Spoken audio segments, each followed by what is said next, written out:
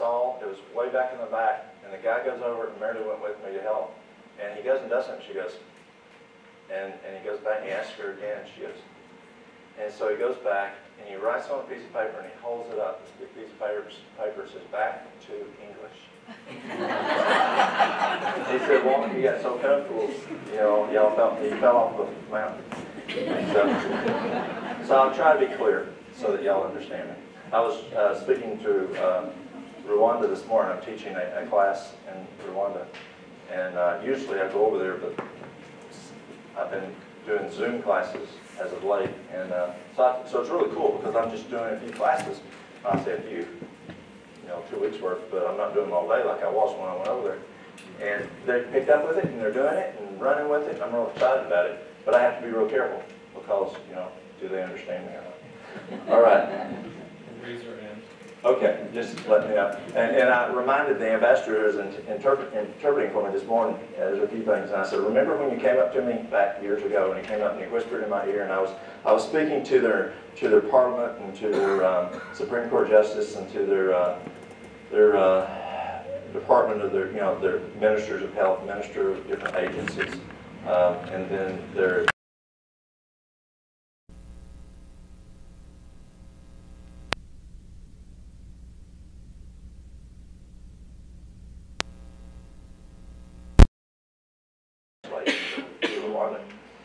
And so I started speaking. I didn't get one sentence finished. He stands up in the audience, walks up on stage, and whispers in my ear, turn off the sub. And so I'll, I'll, I'll try to do that.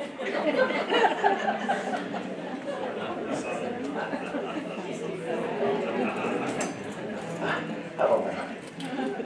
So tonight I'd like to talk about Old Mountain Remedies, but what can you get in the kitchen to address your health issues. And many times when there's a health problem, you can, you can um, use something from the kitchen. A guy came in yesterday, came in yesterday, and his hand is all bandaged up, and he said, um, he said, I just wanted to let you know that uh, I had a significant cut on my hand, and uh, blood was squirting out, squirting out. What, what does that mean? What? Yeah, hit an artery. And I mean, it was squirting bad. And, uh, and he went and put cayenne pepper on it. And he just wanted to come and let me know it worked. I said, well, who'd you learn it from? He said, I learned it from you. and, uh, and he watched me on, on, on uh, Facebook or YouTube or something. And he just poured cayenne across it, you know, just, just filled it full of cayenne, and, uh, and it stopped the bleeding. Isn't that cool? That's just so cool. And, and arterial bleeding. It's just so cool. God's given us a little simple things that we can do. I'd like to first to, to look at herbs. Um, y'all live in the country. Y'all have herbs. Anybody use herbs? Yeah, herbs are such a blessing. They really are. And I'd like to go th- through different options that God gave us in using these phytochemicals. Um, and one is, is, herbs can be just like a bulk herb, or you can make um, teas out of it. Who's ever heard of Pau-d'Arco? P-A-U space D apostrophe A-R-C-O. Pau-d'Arco is phenomenal. It, it, um, it's like Pac-Man. It loves to eat cancer. Uh, it increases oxygenation in the body. Uh, it's the best thing I've had. This and, and this and uh, I didn't bring the black seed. This and black seed are the best thing I found to shrink the prostate. Um, it's, it's just phenomenal. It's antibacterial, antiviral, antiparasitic. Yes? P-A-U space D apostrophe space A-R-C-O. That's about one of the few words I can spell. I spell phonetically and phonetic, phonics and southern don't work too good. Um, but I did learn how to spell this one. But Pau-d'Arco is the bark of a tree down in Central America. And it's just phenomenal if you have mold, if you have, if you want weight loss. There's just a number of things that Pau-d'Arco is just fabulous to do. You can make teas out of it. You can do, uh, well, I'll, I'll, come to that in a minute. Um, so with this, you can do capsules where you powderize it, and put it in capsules, or you can make teas. You can make poultices. Who's ever made a poultice? Poultices are great You can make a poultice out of the herbs, uh, use it for, for cancer. Let's say you've got breast cancer. You can make a poultice out of it, and we'll talk about that, and apply it to the affected area, and leave it on about a half a day, and then put another one on. But Pau-d'Arco is uh, uh, one of my favorite herbs. Literally, if someone has cancer, this is the first one I encourage them to use. I like Essiac. Y'all know what Essiac is, or SEAC, E-S-S-I-A-C?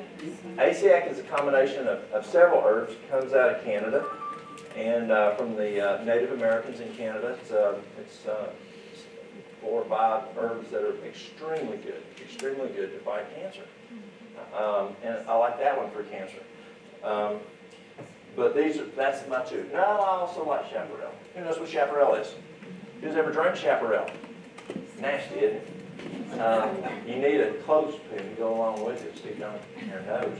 But chaparral is just phenomenal to kill cancer. It's a blood purifier. If you have a, a teenager who's going through acne, um, you can have them take uh, chaparral capsules. Don't have to drink it. They ain't gonna drink. They won't drink. Uh, it's so nasty.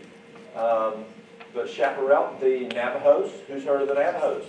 The Navajos use it still today, topically as a paste for skin issues, for, for acne, for, for sores and, and various things. Pau-d'Arco can be used for acne also. Another one, really good. It cleans the, uh, it cleans the blood and it's, it's also really well. Who's ever heard of wild lettuce? Wild lettuce is a great tool. Um, you can use it, uh, who's ever heard of Bastyr University? Anybody? Bastyr? Um, it's in Washington. And uh, Dr. Mitchell was, was the co-founder. Mitchell died several years ago. And uh, Mitchell was a friend, and I called Mitchell when I'd have questions, and, and one day I, I, I was, I just have such good benefits. I don't use wild lettuce as much as I used to because I'm learning more. Um, it's a great painkiller. But if I can get rid of the pain, then I don't need this. So I'm trying to back up as much as I can, and get to root cause as much as I can. So I don't use the, the wild lettuce for pain as much, but there's times you need a painkiller. Pau-d'Arco, great painkiller. I mean, God just gave us so many different herbs that can do the same thing. And so I called Mitchell. I said, Mitchell, this is what I use it for. I have people that need to use it long term. Is there any contraindication in using wild lettuce long term? Not at all. Now, this guy you can. Who's ever used golden seal? You can't use golden seal long time, long term. Or echinacea you can't use long term. You want to pulse it because you can use it for about two weeks. Yeah, you can go four weeks, but the, the standard is two weeks. Stop for two weeks, do it again, because the efficacy just drops off, just like an antibiotic. You don't take you don't take vancomycin all the time. You don't take Cipro all the time. You're going to lose your efficacy. And so, um, and so with golden seal, you, you pulse it. But be cautious with golden seal because even long-term pulsing, you can start having some depression at six months. I had one guy who got suicidal at a month and a half, and I warned his wife, long-term, be careful. Um, and he started wanting to kill himself, so she took the guns away from him and stopped, stopped the golden seal. I like golden seal. Um, just use it judiciously. Um, but so this one, and there's some that you pulse. This guy you don't have to. Wild lettuce you don't have to pulse. You can just plow right through the rest of their life using it. And it's not Pau-d'Arco. You can just use long term. It's not a problem. Uh, wild lettuce. Um, the biggest thing I use it for is pain, it, arthritic pain. Uh, but then I found there's things that cause arthritis, so I can get back to that, and I don't have the pain. But like bone cancer, that's your kind of stuff, pain management. Uh, bone cancer is terrible, awful. You know anybody has, has had bone cancer? I mean, it's terrible. And this works well with uh, bone cancer. You take a quart of water, bring it to a boil, you make an infusion. And um, let me cover infusions and decoctions in a moment. But you make an infusion, bring it to a boil, totally turn it off, and when it quits bubbling, uh, use uh, one cup of the wild lettuce. And I found there's another tool that even makes it work better, is a cup of skullcap. The skull cap is unnerving. I was at the hospital with a friend of ours, a friend of Mary Lou's and I. Mary Lou and I were taking turns staying with her. She had bone cancer. Well, she had breast cancer, metastasized to the bones. Significant pain this lady had. When they would put her on the bedpan, the whole hall on, at, the, at the University of Tennessee Hospital heard it. I mean, she was screaming so loud. And um, so the doc comes in and he gives her something else, and it, it worked. And I said, what did you give her? He said, I gave her unnerving. Hmm. Well, though wild lettuce is unnerving, um, it um, skullcap's better. So I do a cup of wild lettuce, a cup of skullcap, and that quart of water. Let it sit for at least 30 minutes to overnight, and then drink one cup every two waking hours. Every two hours if the person is awake. And if that works well, then go to every three hours, every four hours, or least dosing. So you use the least possible. Tremendous for pain. And so there's no contraindications with any other herbs. There's no contraindications with any medications. Again, same thing with this guy, Pau-d'Arco, no contraindication. Um, but the wild lettuce is, is tremendous. Um, so many stories I could share, but I don't have time. Slippery elm. Who's ever used slippery elm? It's, it's a great tool. Uh, I was speaking, slippery elm is the inner bark of an elm tree. If you have a sore throat, just get you a teaspoon of slippery elm, put it in your water, stir it up, and drink on it, and it will solve that sore throat. I don't know where I was. Well, I was in, I was in, we just got back from two weeks in Alaska speaking, and Mary Lou went, Mary Lou went with me on that. And I got up to speak, and I started talking, and my, my throat got kind of hoarse.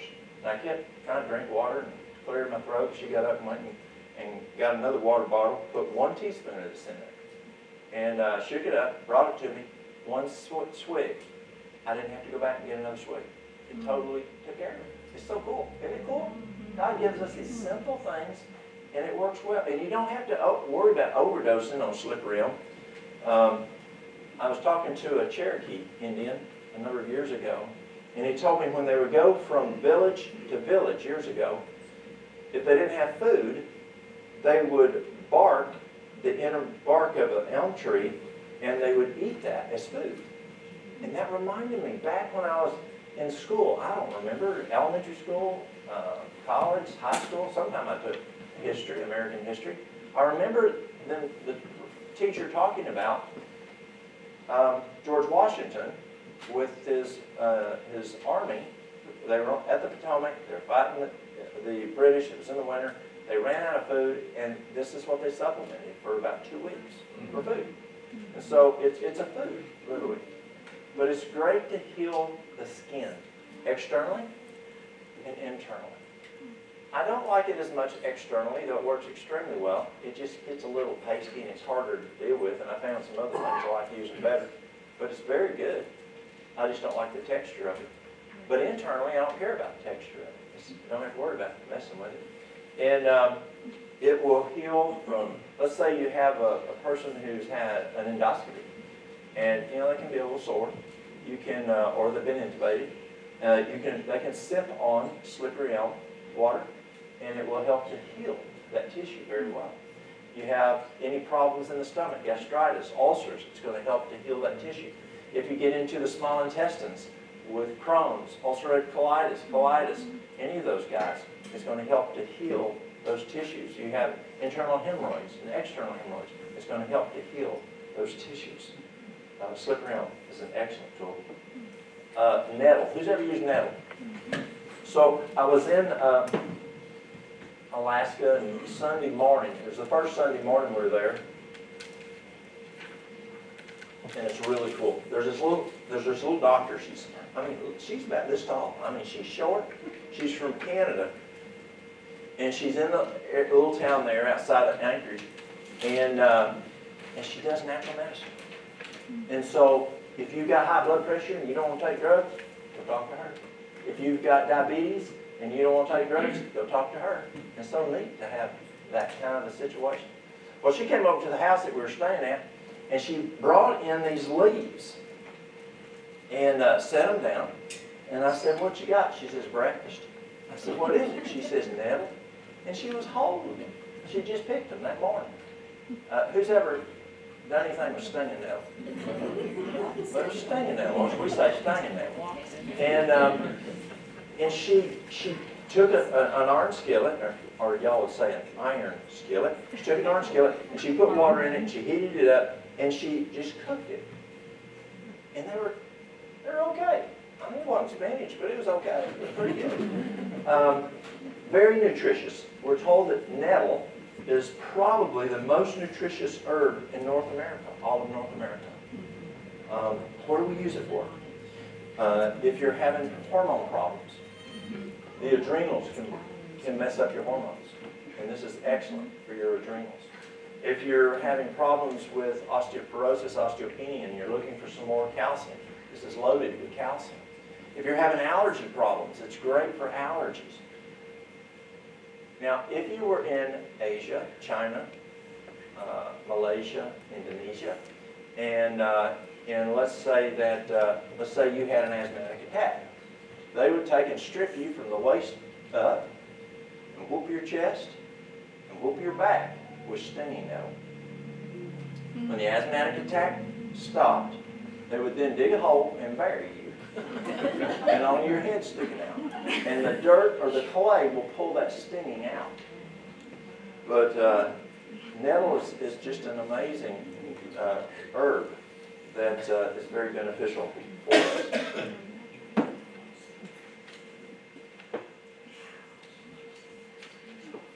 Who's ever heard of calendula?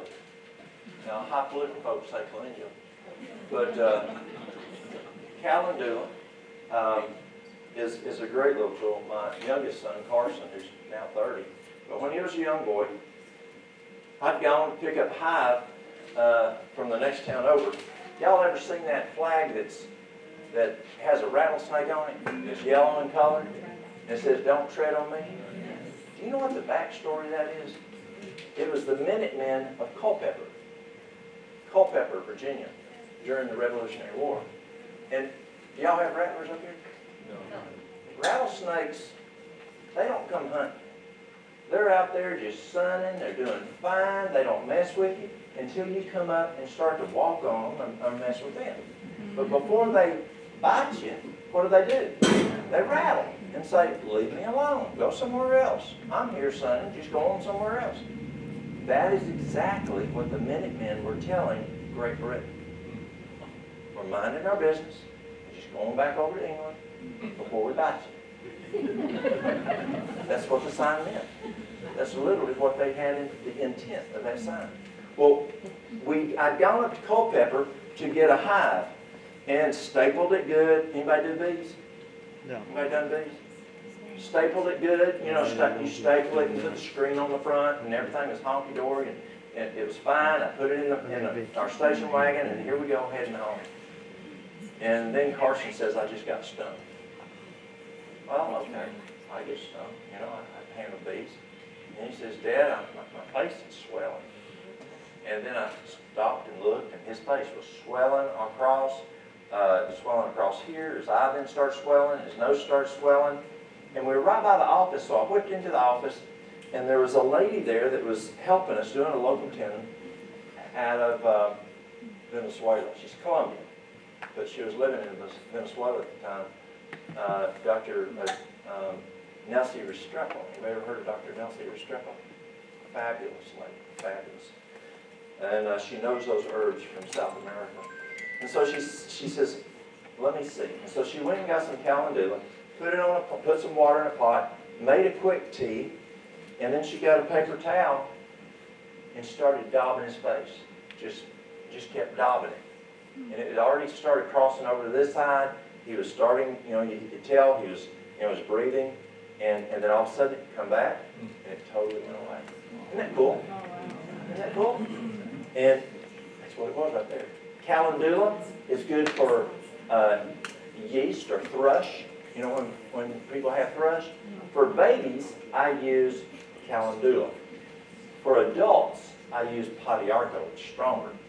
But I use the, um, I use the uh, calendula for, uh, for infants. Um, it's good for cancer. It's a cancer killer. It's a blood purifier. This is really cool. If an herb is a cancer killer. It's also a blood purifier. If a herb is a blood purifier, as I, as I started studying herbs and looking at herbs and what kills cancer, what does purification, kept, it was just like a straight line. They do the same thing. That's pretty neat. They're in the family of the marigolds. It also has lutein in it. What's lutein good for? It's for your eyes. So calendula tea is good for lutein for your eyes. The golden seal, I use golden seal for a number of things. Uh, it's a great tool to have in your uh, in your kitchen. Oh, I'm trying to think, what that lady coming for this week? I only got her just a little bit. Um, I don't remember. One of her children had something. Let's say you get pink eye. Anybody seen someone with pink eye? Uh, or how about an eye infection? I had a problem um, several months ago. I'd taken a contact out and it was bothering me and I stupidly did not clean it well. I know better than that. And I just washed it off and put it back in and I didn't really clean it off good. And my eye got as red as could be. Well, I was going by to see a friend of mine, he's an optometrist. And I said, what do, you, what do you think about my eye? He looks at it and he goes, your eye's infected. I said, yeah, that's what I thought. And so I went back and I took a, an eighth of a teaspoon, an eighth of a teaspoon, to an ounce of water, and I made a tea. And um, let it sit for 30 minutes. And, I, and then I poured it through a paper towel. I don't have a, co- a coffee strainer. A coffee strainer is the best thing to use for that. I mean, that's the only thing a coffee strainer is good for. And, um, but a coffee strainer is good for pouring things to strain to use in the eye. And so the problem with the paper towel is it wicks so much, you lose a lot of, of your material up into the, uh, into the paper towel. And so I just went and, um, I don't remember if I did it Mary did it, one of us did, and just poured some, some, uh, you, you can take a spoon, or just, I had a spoon over here. You can take a spoon and just pour it in your eye. You can take a medicine dropper, or you can take the, the blade of a butter knife and just pour it in there. Yes, What herb are you talking about? golden seal. And, um, boom, I only had to do one, one application. The infection went right away. Um, if you have, uh, I had a, I had a tooth, this tooth right here. I, they put a crown on it back in the, in the late seventies, and it had, the tooth underneath cracked. And my face swelled up just like a chipmunk. And so I went down to the dentist and I said, you need to get in here and see what's wrong with this thing. He said, I can't do a thing until that infection is gone and the swelling's gone. Okay, he says, here, here's a prescription. And I, and I said, well, I don't do prescriptions. He says, you're gonna need to. He's, he says, it ain't gonna heal. And I said, how long is it gonna take? He says, at least five days. Said, okay. So I got something back at the office and he goes, it ain't gonna work. So I went back, threw it in the trash, and I used golden seal and myrrh. I put, um, I took a teaspoon of golden seal, teaspoon of myrrh, and I made a, um, a, um, a tea. And I swish it every two hours and swallow it. Swish it and swallow it every two waking hours. And the infection was plumb gone in three days. Now, y'all know what plumb means. Yeah. That means totally. And it was totally gone in three days. And I went back down there and I said, okay, fix it. And he goes, I can't believe it. He said, never have I seen it go away in three days. Uh, and, uh, and, and so it's, it's amazing.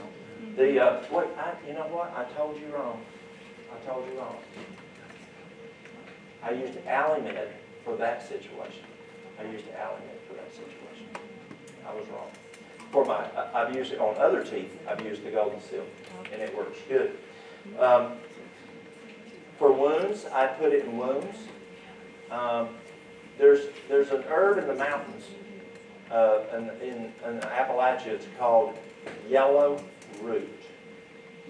Yellow root. But if you ask for it, they won't know what you're asking for, you have to ask for yellow root. Because they, they don't know what yellow root is. Um, like old dog. Um, you can, only place I can buy it is over in Cherokee, North Carolina, from the Cherokee Indians. Or you can just go pick it. But yellow root and golden seal are, um, Siamese twins. They're very, very similar. And you just go out there and pick it, and you have the same thing as golden seal. Let's say you have strep throat. Take a teaspoon, put it in a glass of water, make a tea out of it, uh, gargle it every two hours, and swallow it. And usually strep throat is gone within 24 hours, 48 at the longest. Is, um, Oregon grapes the same too? That's a very good question. Oregon grape is called poor man's golden seal. Yes, sir. Y'all heard of Oregon grape root? Do the same thing. Yes. Uh, if you have an ear infection, I'll take a, uh, I have a teaspoon over here. I'll take a teaspoon, here it is. And I'll put, um, I'll fill it full of olive oil. Well, I'll fill about seventy percent olive oil. And then I'll take some golden seal, about equal to what would be in a ca- half a capsule. And I'll put it in there and mix it. You want it as high a viscosity as possible, but you yet want it to still drip. And you don't, you don't want it to cake in ear. And then what you'll do is, if it's an infant, you'll take and uh, you'll put two drops in the ear. If it's a- an older child or an adult, you put three drops in the ear. And you rub it like you'd rub something down a dog's ear. And then, you know those things that fellas put in their pockets, those hot pocket things? You take one of those and break it, and you put that on the ear, and then put a toboggan on the ear, and, uh, you know, you know what a toboggan is? A little hat. And, uh, put that on ear, and that will, uh, it's not this thing y'all ski on here. Uh, But, um, you, you put that on there, and you put that in there every two hours.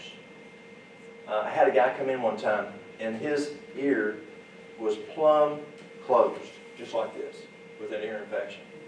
And um, oh, he was in much pain. And so I made the formula, and I took a medicine dropper, and I pushed it as much as I could, and and put it in there, rubbed it, put the heat on it, and just kept doing it, kept doing it. Now, what do you think the first thing I did? I prayed. Because never a bit of this works by itself. Only God does the healing. And we prayed that God would bless it, and I kept doing it and just kept doing it. And it took maybe, normally an ear infection is gone within, be gone in a half a day, as much as a day. For him, we, it probably took almost three days. But it, I mean, it was plumb closed up. But God blessed it, and it healed that ear infection. Yes, sir. So, Sorry, can you, for otitis externa or otitis media? I don't know which you Because- have. well, Because One is for otitis media, which is like surfers or you go swimming and then Yes. you get an infection in the skin and the ear canal versus the ear, at the, in, in the the inner ear. Exactly. Uh, yeah, I'm, I would venture say it was the outer, not inside. Good question. Um, so golden seal is really good. Myrrh, who's ever used myrrh? Yes, ma'am. Can I ask a question? With the garlic oil and treat the inner ear he's asking about? I I would- for the outer ear, but. Yes, I would do that one more pee up, pee by mouth, like the Alamed by mouth, so it gets in systemically and treats it like an antibiotic. On the inner ear, that's what I would do. And so on the Alamed, we'll do like a teaspoon BID twice a day, and that way it gets in there, and it's gonna act more like that antibiotic on the inside. Yes, ma'am?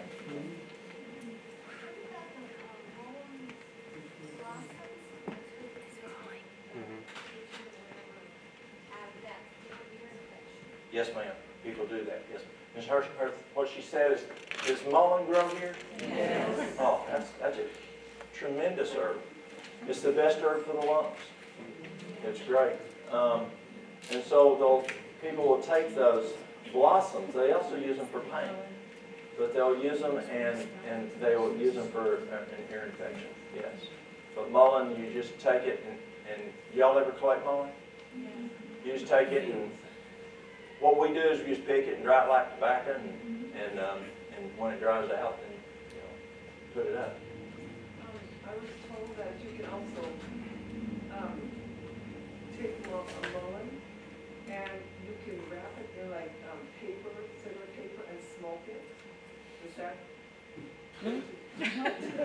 You can. You can. Um, but just like a statin drug, which can lower your cholesterol, um, it, it wipes out your, your CoQ10, it wipes out your, your chemical that helps with memory. So there's some side effects on statin drugs.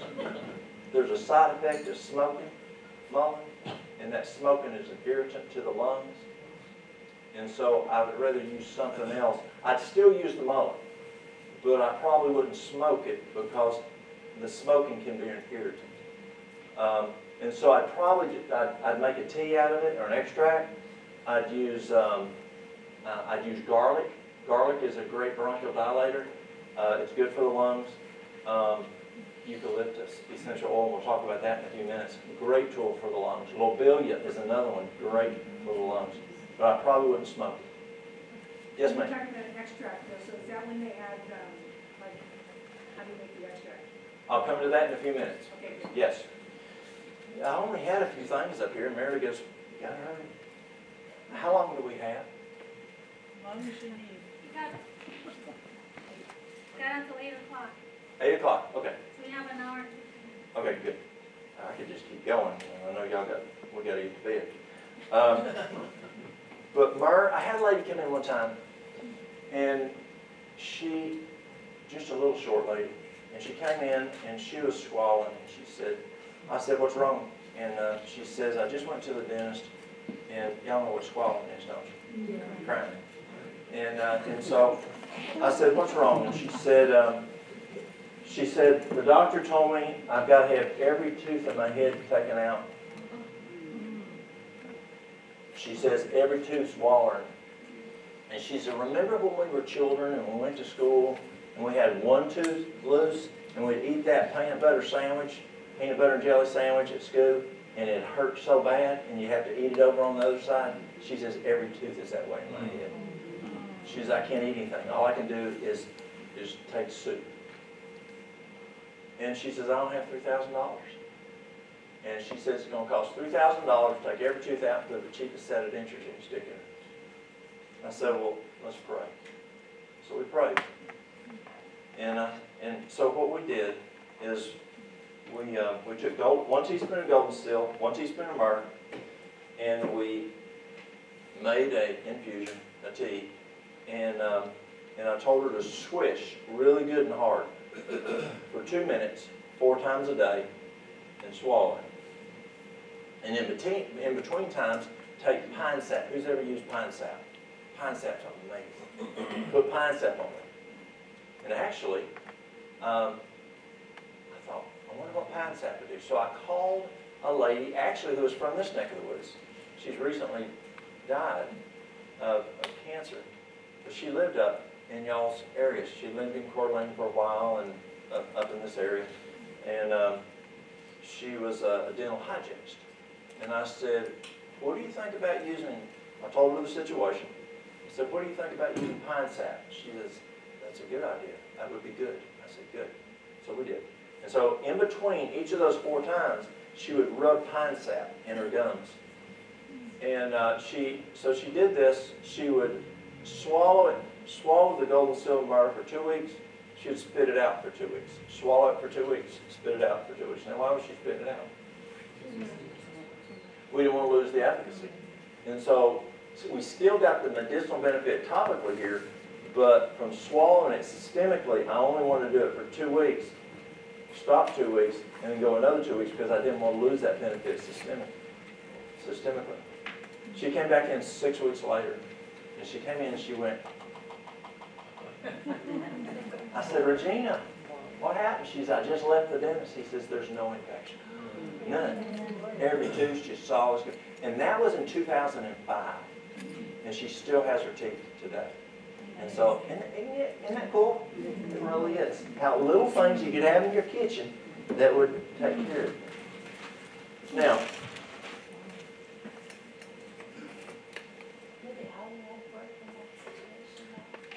use the Alamed for that. It may.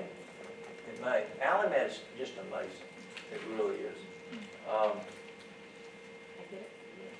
Good. Do y'all want to do a facial?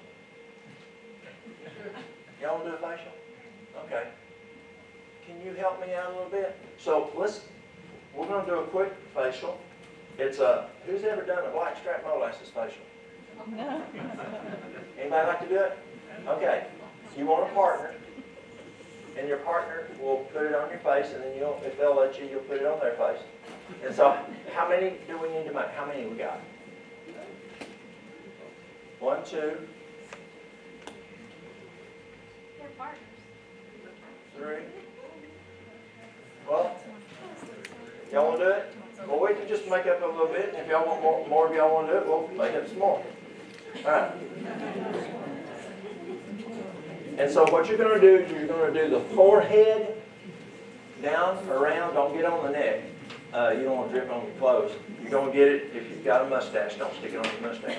Put on your nose, and just all this area here, you're gonna put that, that blackstrap molasses on there. And we're gonna leave it for thirty minutes. And then you're gonna wash your face off.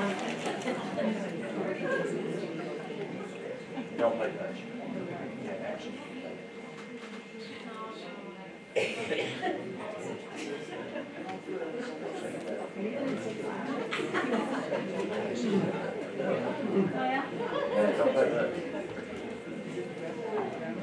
Gra- no, it's blackstrap molasses.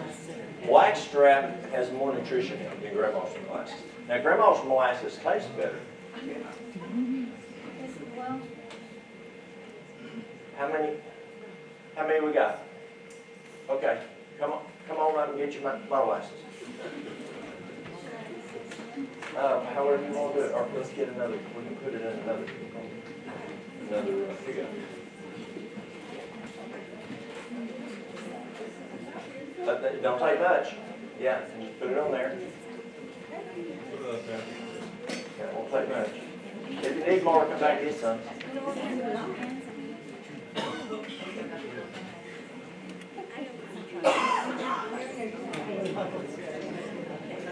Okay, any more? No, serious? This serious. Your face is gonna be a lot, it's gonna, your face will be softer.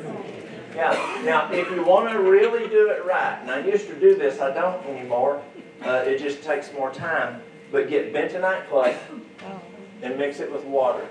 It's best to do it the day before. Uh, you, you, it, it's smoother. Now, y'all women are different we are. Um, we would, uh, fellas don't like men doing stuff on them. And, uh, we would, uh, we had male therapists taking care of men and female therapists taking care of women. And it was a three, three-week program. People came from all over the world for this program. And we did hydrotherapy and massage therapy. And the last day of the program, the folks got to choose which therapy they wanted. Did they want a, a, uh, did they want a fever treatment? Did they want a massage? Did they want, uh, a, a revulsive treatment? What do they want?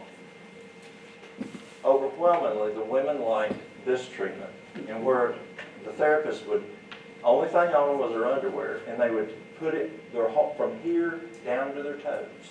And put, and they would put bentonite clay. Uh, and it's, it's, it's like a facial cream. And they would put that on there. And then they would, um, we had a, a roof area, kind of like Battle Creek, which you could, uh, get sun and no one would see you. And we just baked them for thirty minutes. And, uh, they would come back down, they'd wash off. Now in South America, if you go to the lifestyle center, they have, they have rooms that are for washing off with, with big old three-inch pipes so that it don't get clogged up with the clay. Regular pi, our pipes can get clogged up, so we washed them off where, you know, uh, where it wouldn't clog up the pipe. But the ladies loved it. But fellas don't like it, or another fella going and doing that kind of stuff. So, the, uh, but bentonite clay will pull out toxins. It's excellent. Like, I had a lady come in one time, and she was They speak about the color of this man's shirt. Uh, orange. Yeah, her eyes, her face wa- was an orangey yellow. What was wrong with her? Jaundice. Uh, and her, she had gone to her physician that day, and she came a crying, and she said, "My doctor said there's nothing else they can do. I'm dying." And I said, "Well, let's pray." And we prayed, and so we did. Uh, what do you think we did? Play that. We did, yes, we did that to get rid of the jaundice. Uh, no, just, Repeat what you did? uh, they did a, a, a bentonite clay, just poultice every day, and that pulled that jaundice right out. You can do that with a baby that's born, and they're jaundice, you can put this on them, and they don't have to have the light. You can just use this and it pulls it right out. Um, but what was her problem? It's liver. Yeah, and so the most important thing she had to do was what? Address the cause. See, if I have, let's say I take this thing right here, it's grater, and I go and I'm rubbing my arm, what's going to happen? That's going to rip the hide off of it. And you come and say, well, let me put some medicine on it. And you put medicine on it, and when you leave, I go to rubbing it again. And the next day, you come put medicine Is it going to heal? You got to stop the cause before the medicine can heal it. It's just going to, you're, all you're doing is masking and managing. And so, what was her problem? She was drinking. A lot. She was a wino. Um, literally, she was a wino. And she was a, she owned a business in town. A very respected lady, but she liked her wine. And um, so I said, okay, you drank? Yes. You still drinking? No, I stopped. I said, good, you're over 50% of the way. You got to stop the cause. You can't fix it. I have people come in with emphysema, and they want me to fix their emphysema, and they're still smoking. It just don't work that way. And so I said, okay. So we did. What did we use for the liver? No, that was for the jaundice. What did we use internally for the liver? No. Milk thistle, yes. Milk thistle and dandelion root. Two mLs each, three times a day of each. Um, and that was back in 2005 or 6. Still alive today. Totally wiped out the cirrhosis of the liver, and uh, she's totally healed up. And it just took care of the problem. Uh, two mLs three times a day of each. Two milliliters of each, three times a day. The, uh, the dandelion root. Dandelion root is better for liver and kidneys, and dandelion leaf is better for congestive heart failure, for your uh, your um, your your congestion in the lungs, and your edema in the legs. Uh, the leaf is better for that. Um, how's it feel, y'all? Feel okay? Sticky? Yeah. Pardon? The bathrooms are to the back on that wall. Okay. So we'll, we'll keep, who's, who's doing the clock? Who, can someone be a timekeeper? We've had them on for about five minutes. Give us another 25 minutes and let us know. So these are things that you can use herbs for. And there's so many herbs that God has given us. Um, yes. The uh, molasses, they're just using the molasses, what does that do? Okay, so the molasses, thank you. So the bentonite clay goes and pulls toxins out and cleans it, cleans the oils out, and just clean. It pulls and cleans. Uh, it's a facial cleaner. The bentonite clay is putting nutrients back in. Uh, I'm sorry, the black, uh, the black, uh, blackstrap molasses. The black, thank you, blackstrap molasses. Y'all have taken Mary Lou's place. She's usually here correcting me when I say something like that. So the, the bentonite clay cleans the face, pulls out, draws, and the blackstrap molasses puts in. It's packed full of, of iron, potassium, manganese, uh, magnesium. is just packed full of nutrients. And that puts those back, in, those, those minerals back into the face. So you do the clay first and then? Do the clay first, and that cleans, and then you can then uh, put the uh, black strap, and then that will put the nutrients in. So with the, what if you used, uh, French? Big French green clay would be fine instead of the bentonite, yes. And it- you leave the clay out for thirty minutes? 30 minutes for the clay, 30 minutes for the bentonite, uh, and also for the blackstrap molasses, yes. If your iron's low, one of the best things I found for low iron is, uh, is two, is a t- uh, tablespoon twice a day of, um, of blackstrap molasses. When I was sick, one of the problems I had, uh, my hemoglobin, they couldn't get it above, uh, 7.1. And, um, so I went from a gastroenterologist that said, well, you're gonna die, there's nothing else we can do for you. And to a guy from Loma Linda that did natural medicine. And, uh, this doctor said, you know, there's a number of things I did, but to get the up, um, he had me taking a tablespoon twice a day of the blackstrap molasses and the iron came right back up. The hemoglobin came right back up.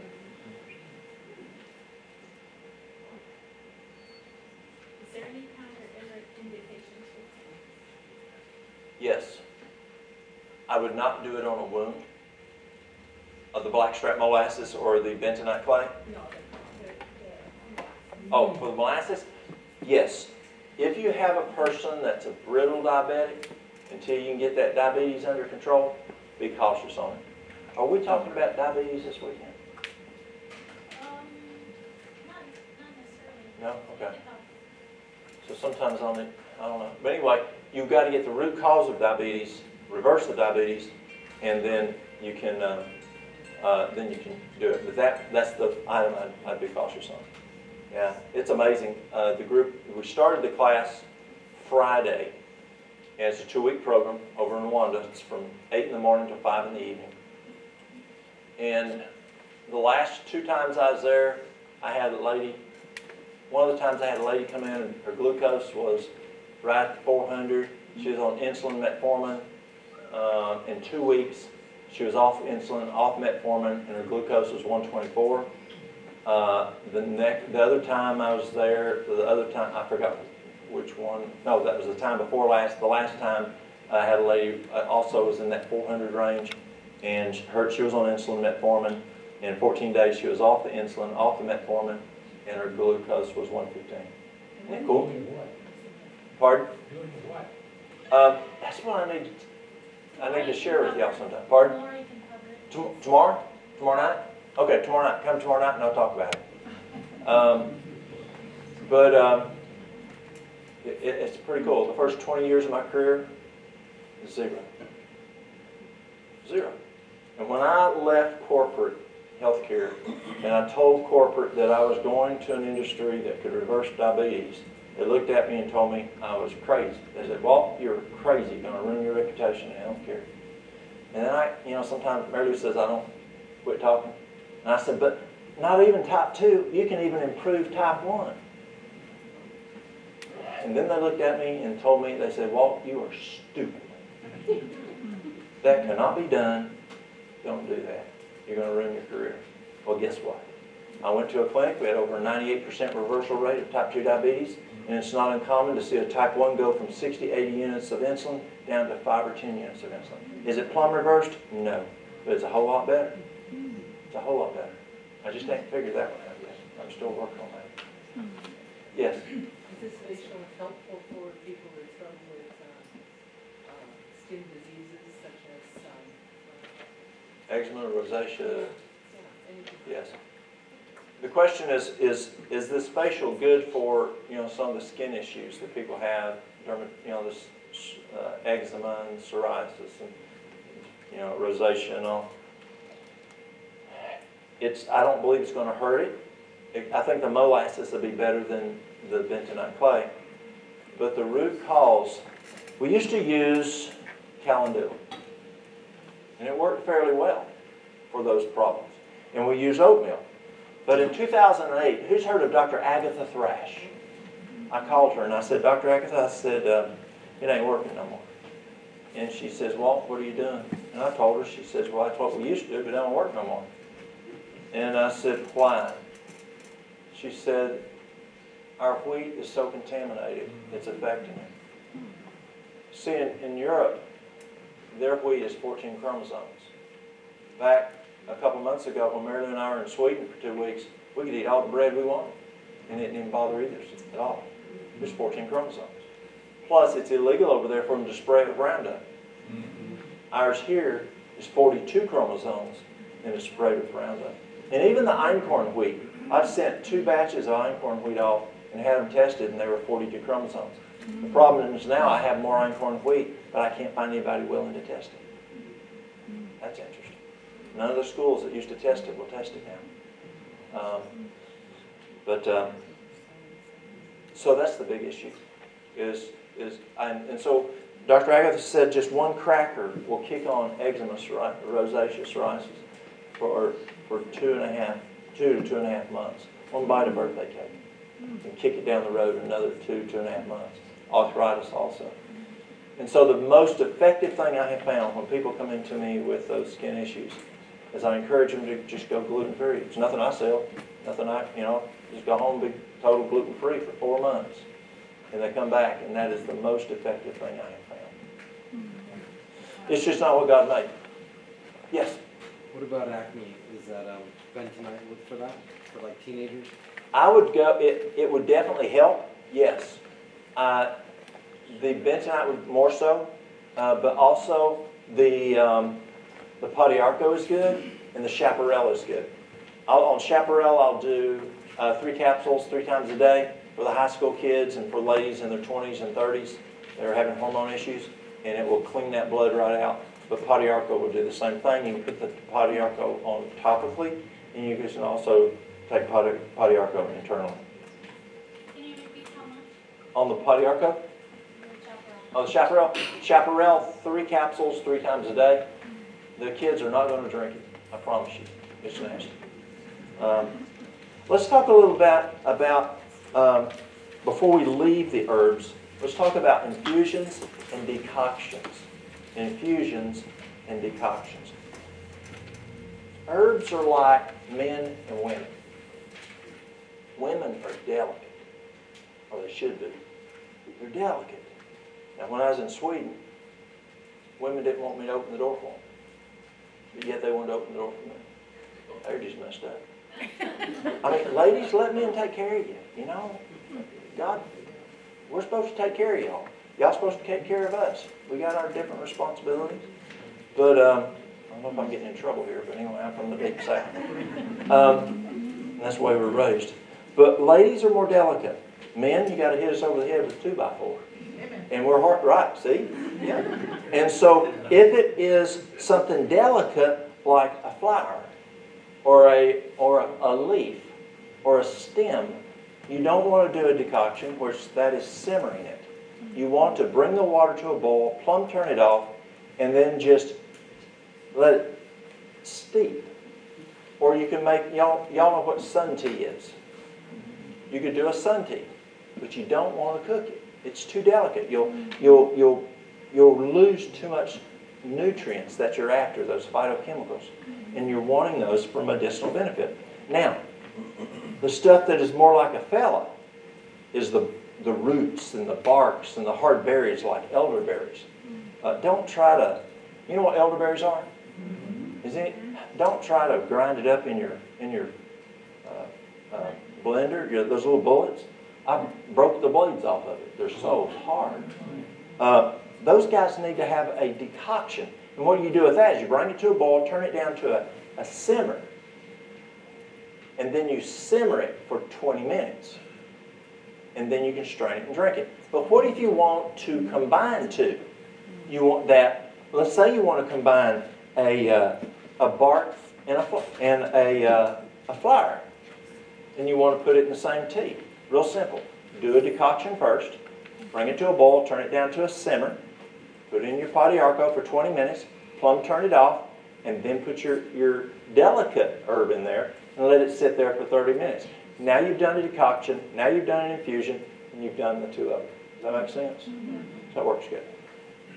So those are ways that I do herbs like that. So you can make teas, you can put them in capsules, and let me share this.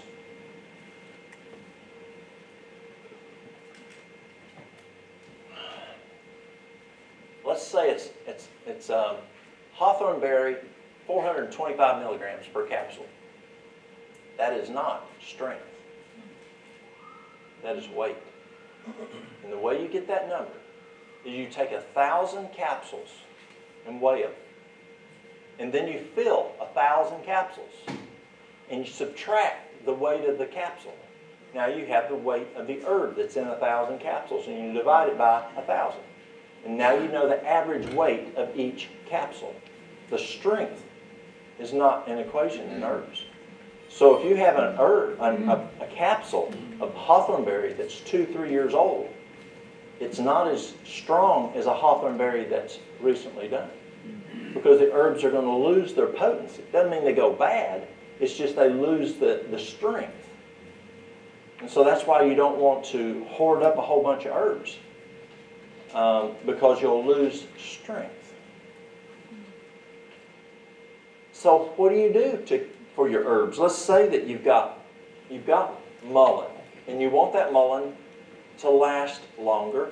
How, how many y'all put food up? Okay. So put your herbs up. And the way you put your herbs up is you make an extract. Or you can make a tincture. I don't do tinctures. I was flying this morning from Knoxville to, to um, Denver. And the girl I was sitting by used to work at the moonshine mill right beside my number two fire hall, my station two fire hall down on the interstate. Um, moonshine's illegal in Tennessee now. So it's a big thing making actually moonshine in Sevier County makes more money, tax revenue, than all of Dolly Parton's product properties. They are millionaires, the moonshine folks.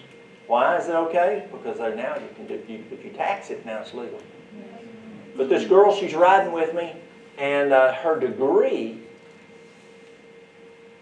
is in making moonshine. She has a four-year degree in making moonshine. Isn't that amazing?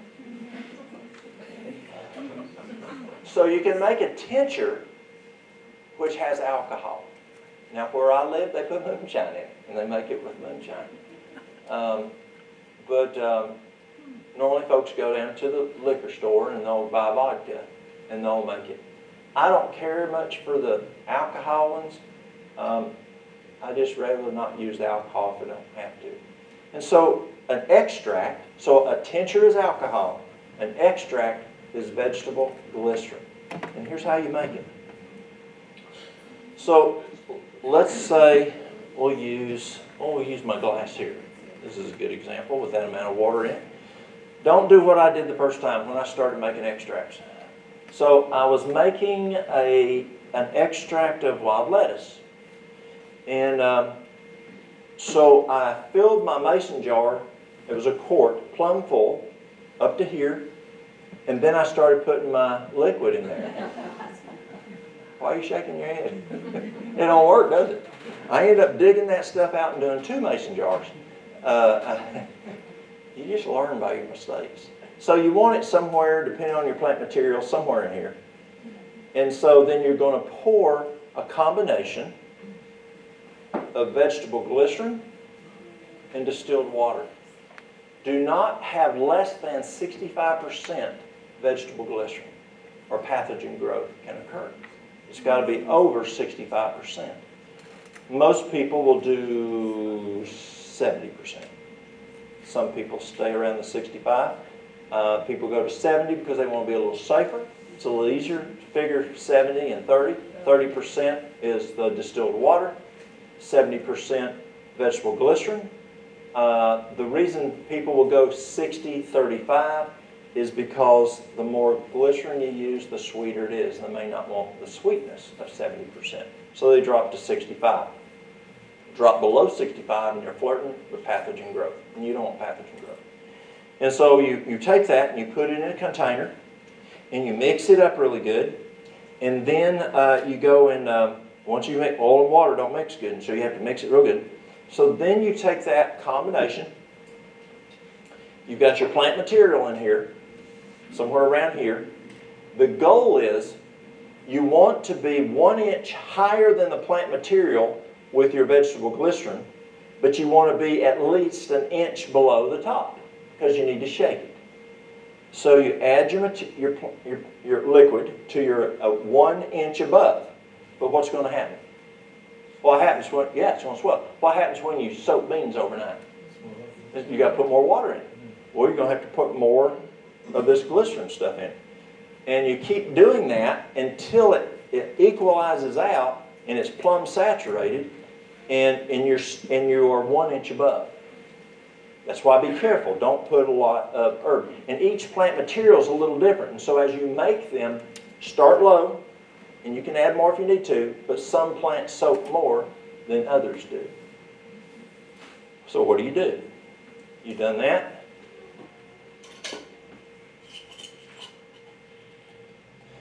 And then you take it and you shake it. And you set it in the cupboard and close the door because you want it in the dark. And then, and so let's say that's in the afternoon. Uh, you put it in there. Then the next morning, you're going to shake it. And then I turn it upside down. That evening, I'm going to shake it. Oh, 15 seconds. Don't doesn't have to be too long. And then I set it right side. And I do that twice a day for 30 days. For 30 days. Um, I, I have I get dings. That means sometimes I have a fire, so I have to make sure it's going on. And so, uh, but let's say you want you don't have time. Let's say you're making elderberry syrup, and folks are sick, and you don't have a month to do it. Well, you can make it in three days instead of 30 days. And so you take a crock pot, turn it plumb low, and some go low, low.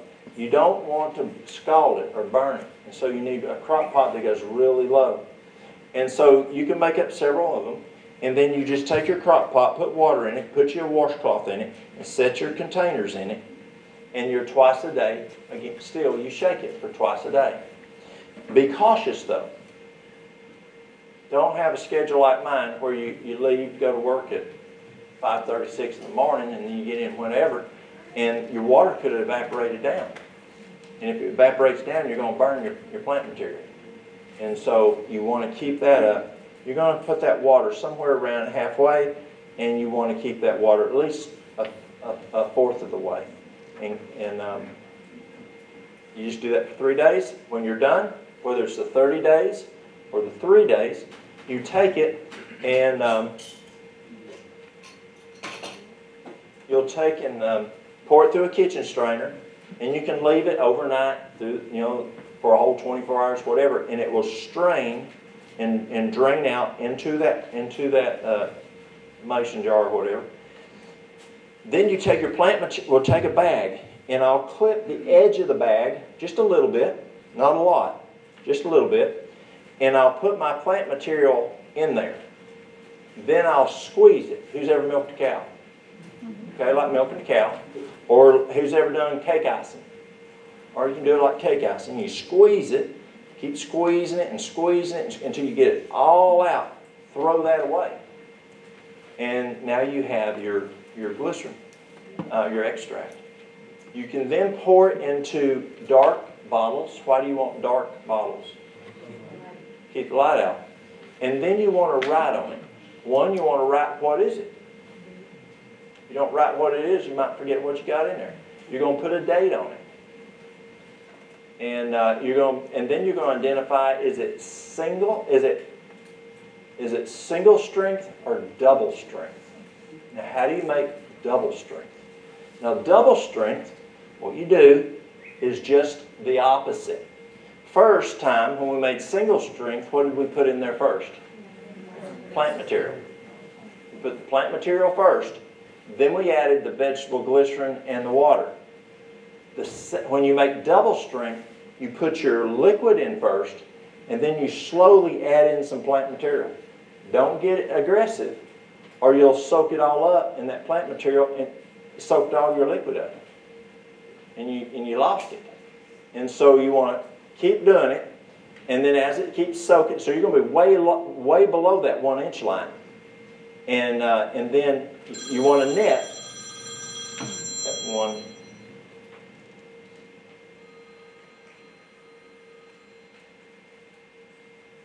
Excuse me just a second. Harold, you okay? Okay.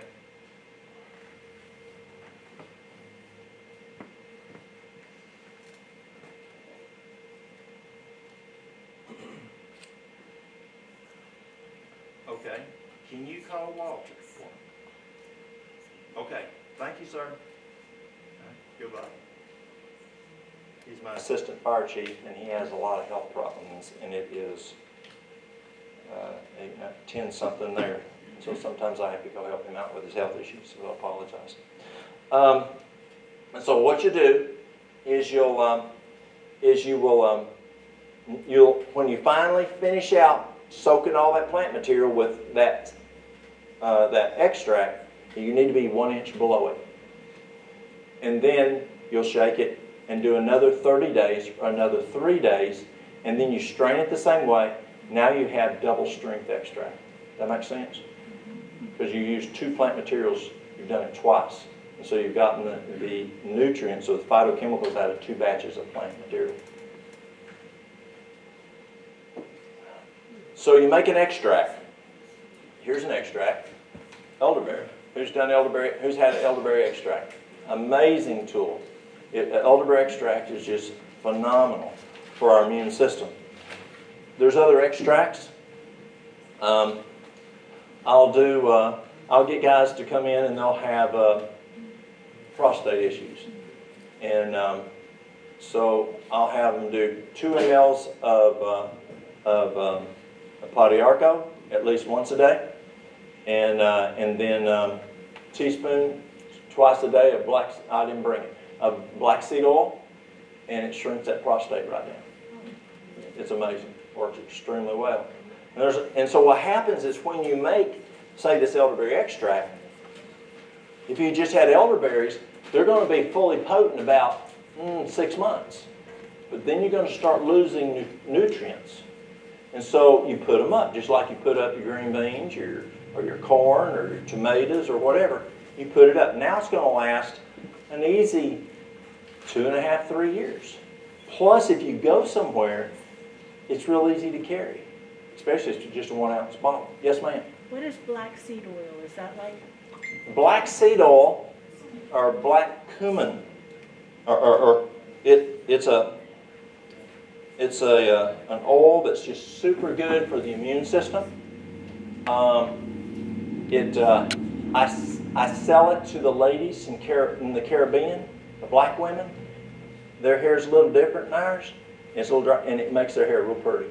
It's really good for their hair. Um, like externally, just put it on their hair. sesame seed? Black It's, it's back. It's black cumin. Yes. Pardon? Nigella? I, I can, it may be. I don't know. Could be. Yes. I thought it was interesting, I read the other day that Mohammed said that black seed would heal everything but death. I have heard that before. I didn't know that was him, but I've heard black seed will heal everything but death. I didn't know it was Muhammad. Hmm. Yes, and that is that's a common saying. Hmm. Yes. When you say put up the extract like can, so you're like canning water bath it or pressure hmm. cooking, what are you talking about? Uh, well, you know how you put your food up, you know, for canning. Yeah, but there's Well, both ways you can either water bath. Exactly, but uh, just the concept of putting up, the concept of Somehow canning. sealing it, Pardon? somehow sealing it in. what you're saying. No, just just the philosophy of, of canning your food or freezing your food just to put it up, versus the the philosophy of putting up herbs so they last longer. Yes. Timer for the mask. Okay, let's do the mask. Let's go in there and wash your face off. All right, we've got a couple folks that need to wash their face. Yes, ma'am. Regarding um, nettle, I took a class and I, I thought the lady said that if you wanted to use it for allergies, it needed to be fresh, that you couldn't dry it and then make a tincture or an extract. It needed to be fresh. Have you heard that, or will It, nettle it works. dry? It works very well for allergies dry. Oh, good. Yes. Thank you. You're welcome. Yes. So that's the elderberry, we have a lot of it growing wild. Yes. We will go and clean it after a freeze because, um, it, it's great. And then, um, do you see a benefit in drying it and putting, making, you know, uh, uh, preserving it like you're talking about? Or I made last year fresh, I used them fresh. So, um, what do you, what do fresh, and you can do what the old mountain women do where I'm from. They'll put it in baggies, Yeah, and they'll put it in the freezer. yeah. And then they'll pull out a baggie worth one dose, put it in, to make it, and then they'll make a tea out of it. Yes. So you I can. think drying it makes it better. I haven't seen any statistics on that, so I don't know. Yes, Mike? Can you speak to an oxymel, benefits or uses of an oxymel as opposed to uh, tincture or? Tell me what an oxymel is. Oxymel is uh, honey and, raw honey and apple cider vinegar. Okay. Like a fire cider, or I've done that with elderberries as well. Yes. You don't have to cook it, you don't have to, Exactly. Um, the honey is good. I'm going to make something in a minute out of honey that's good for the immune system. I don't like sugar. Some people put sugar in to make it taste better, but why are you using it? You're using it for the immune system. Sugar wipes out your immune and anesthetizes. Sugar, a, a, a 12 ounce can of soft drink will anesthetize 50% of the white cells for four hours. Add a Snickers bar to it, like when we were kids. Not today, but we were kids. and now you've anesthetized 13 out of 14 white cells, and you put like blinders on them for four hours. They aren't working for four, you know, for four hours. So I don't like sugar, but the the honey is good. I like the honey. Um, the the vinegar. Be cautious on the vinegar. Vinegar can, uh, can irritate the mucosa. Vinegar has a lot of good benefits. I grew up with it in our house. My daddy used it all the time. But I've since learned that vinegar can irritate mucosa. And there's a couple organs you got to really protect. The brain, the heart, and the stomach. And, and so you the enzyme you can have enzyme mucosa makes enzymes in the second part of the digestion in the stomach and you don't want to make those guys mad and not do their job and so i'm cautious on vinegar. I just don't want to, to damage the mucosa yes? When you were talking about the Hawthorne, four hundred and twenty-five milligrams per capsule, what if the bottle says that they are standardized? okay. Which means they're supposed to have that much in each capsule. that's correct. So the question is how did they standardize them there's two ways of standardizing. You can standardize it by like gaia does uh, Gaia herbs out of um, brevard north carolina and they literally measure the the phytochemicals in there to make sure they.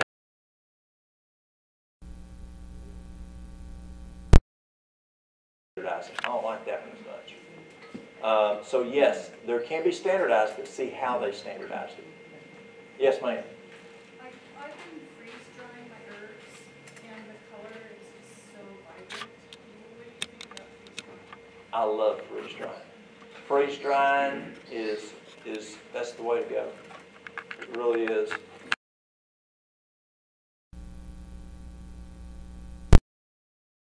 Oh man, they're great.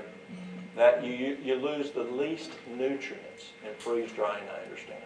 I mean, dehydration was was the best that I knew, and then freeze drying is even better than, than dehydrating. Yes, free drying is, is the best way I think to do it, drying the herbs.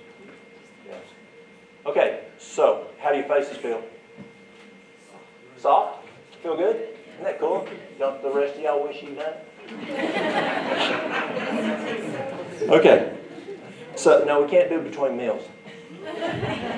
Okay, so so we either have herbs that are bulk herbs that we can do teas, we can do we can do fomentations where we take the tea and make a fomentation with it. Or, uh, or poultices. Or we can go and put it up making extracts. And, or we can supercharge it, what I call herbs on steroids. And that is um, essential oils. One drop of peppermint essential oil you have to drink 28 cups of peppermint tea to get the same medicinal benefit. The challenge, pardon? One drop of peppermint essential oil has the same medicinal benefit as 28 cups of peppermint tea. It's just super concentrated. It's either going to be, um, it's mostly either going to be distilled or it's going to be pressed. Most of them are distilled.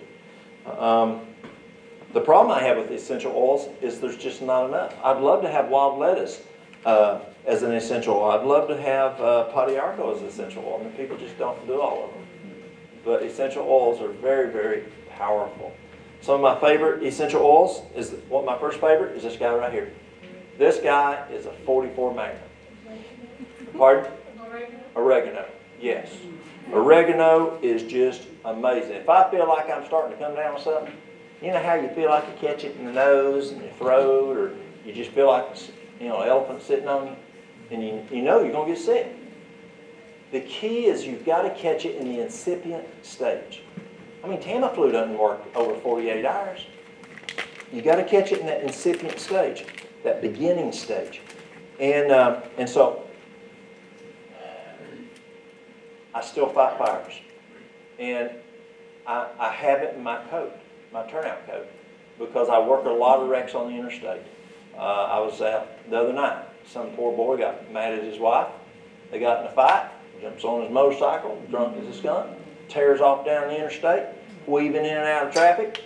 Uh, weaved a little too close to the uh, concrete median, ripped his arm off about right here, and then he got probably I don't know from here past the end of the building before he fell over. And his motorcycle it was way on down the road. His helmet came off. It was on the other side, and um, you know, fortunately, I was I just finished work. It was 11 o'clock at night. I just finished working a, a tractor trailer fire, and I was just five minutes away from him. And um, you know, we flew him out. But I do that stuff at night, and that's a great way to get sick because it lowers your immune system.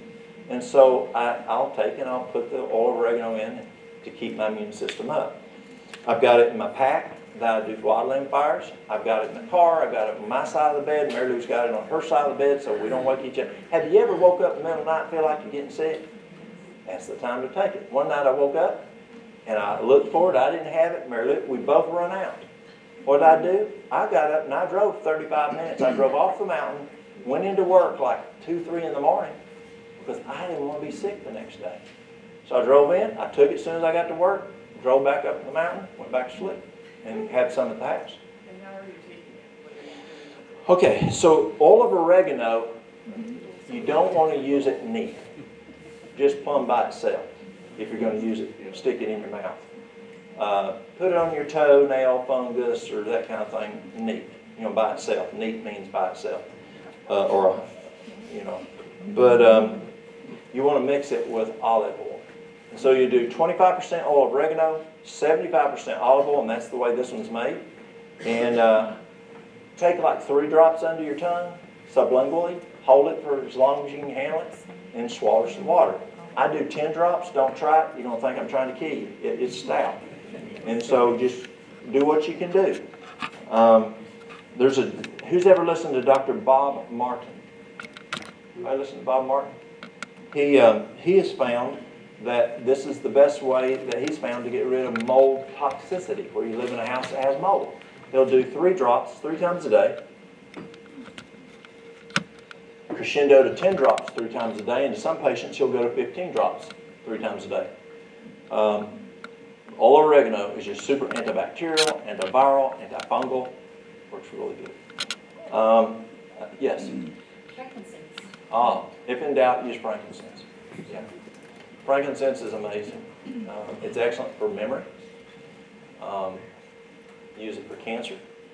It's very, very good on wounds.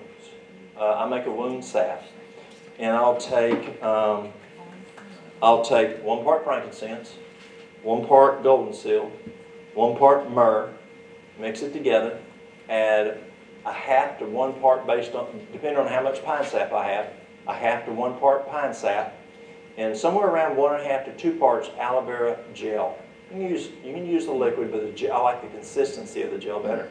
Mix it up, and then uh, you want it about the consistency of pancake batter. That's what you're looking for. You don't want it too thick because when you put it on that wound, you're not packing it like betadine and brown sugar. You're, you're just painting it on there. And you want it to slough off because you, you just did hydrotherapy, warm and cool, not hot and cold, warm and cool. No hotter than 100, no colder than 70. Uh, three minutes warm, one minute cool. One, three minutes warm, one minute cool, seven times. And then you're going to, if it's infected, like let's say it has osteomyelitis, I'll do one teaspoon twice a day of the Allimed, and then I'll spray the Allimed on there. Then I'll put the salve on there, and then I'll put a charcoal poultice on there, and uh, and do that twice a day. And it's excellent for, for healing wounds. Works very well. Um, so frankincense is part of that. Um, I like. Who's ever used um, copaiba? Yeah, yeah. Can you repeat the one part of the golden seal myrrh, frankincense, and then what did you add to? And then I added um, half to one part, one half to one part uh, pine sap, based on what you have available. Um, and then I'll do somewhere around uh, one and a half to two parts of the aloe vera gel. You just have to look at it. You know, it's kind of like dump cooking at that point to figure out, you know, the consistency you're looking for. Thank you. Can you use oregano capsules? Oregano oil Yes, capsules? you can do oregano oil capsules. I'm a big wimp that's. Yeah, absolutely, absolutely. Yeah. And would it still be, you would still do the 25, 75 percent, or you could do it? Those capsules are, are usually mixed with the combination because you don't want it to unload. Plus, you don't want a whole lot, and you don't want it to unload. It's still it would still irritate the stomach if it was hundred percent. The mouth, the esophagus, and the stomach. You don't want. Pardon? It burns the cap- It it just melts the just melts the capsule. Yeah. And so you, you want you want to take care of what you got. So you don't want to get too aggressive. Yes, ma'am. Say what you later. So for the wound care, so when you put that salve on there, you're just, it's like you're just putting it on like you're painting it on there. Obviously, don't take a paintbrush and do it, but you're, you're putting it on there not thick because you want it to, when you do the hydrotherapy later on that evening or the next morning, you want that to slough off and so that you can then put new on.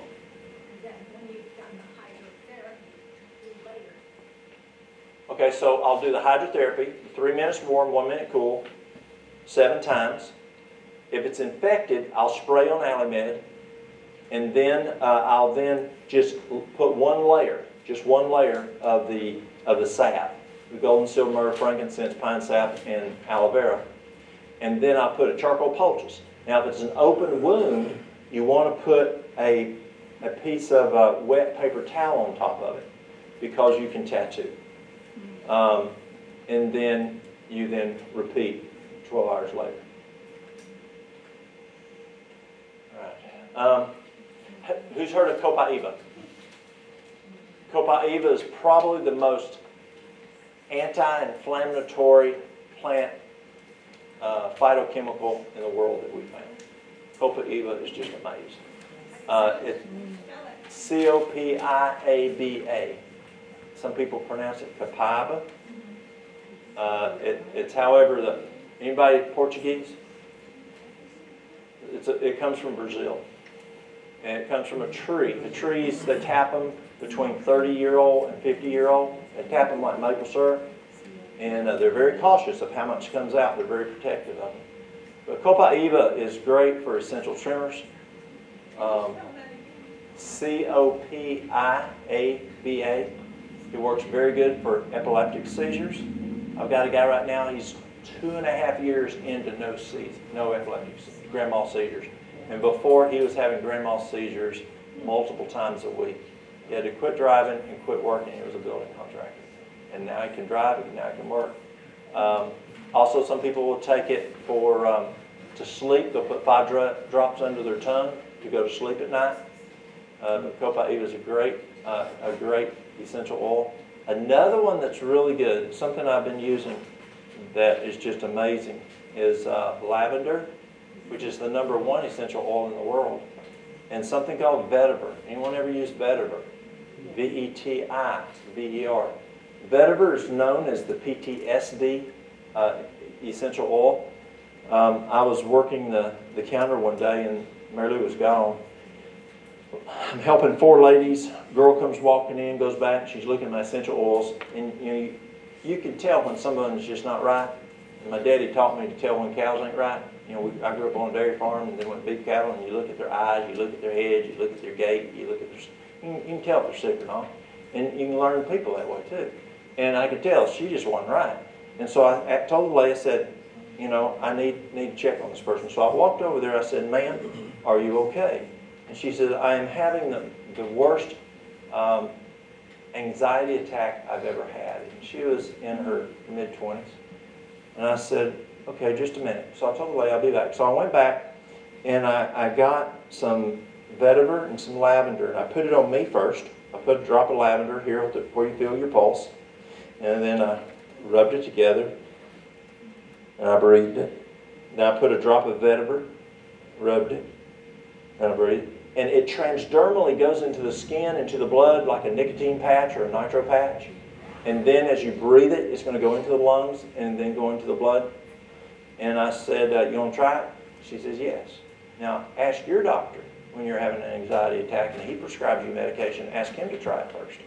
He's probably not going to try it. And so she did, and I said, Now, I'll be back in just a minute. I got to finish this lady. It's going to take a couple minutes to work. So I walk back over, and I find it. I finished checking this lady out. It had been right at two minutes.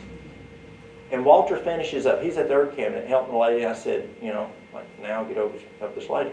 So he went over to help her, and he started talking to her, and it was a different voice.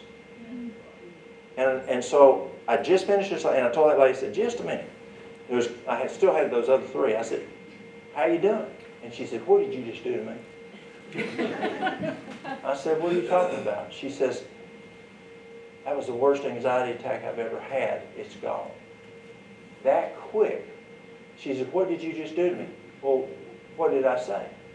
Oh, I just did this. No. God just did that. And see how you can witness to people and show where the power really comes from? And, I uh, and so there's so many essential oils that you can use that are so beneficial. Vetiver, lavender and vetiver. Vetiver is just another plant. V E T I V E R. V E R. Yes, sir. You're talking about tremors, does it have any impact on Parkinson's? Yes, it can be beneficial. I want to squeal if I come out there. Um, yeah, the copaiba I would use for the Parkinson's. Um, CBD oil is very good for Parkinson's. Get one that has, no THC, and that works quite well for Parkinson's. Riding a bicycle has been proven to work good. Far infrared. I've had people come in with Parkinson's shaking and use far infrared, and they leave and they're not shaking. Uh, far infrared sauna can be ben- beneficial for Parkinson's. B complex can help with Parkinson's. Stress can exacerbate. Um, nutrition is important. Sleep is important. Water is important. Exercise is important. Um, and so there's a number of things that we use for Parkinson's.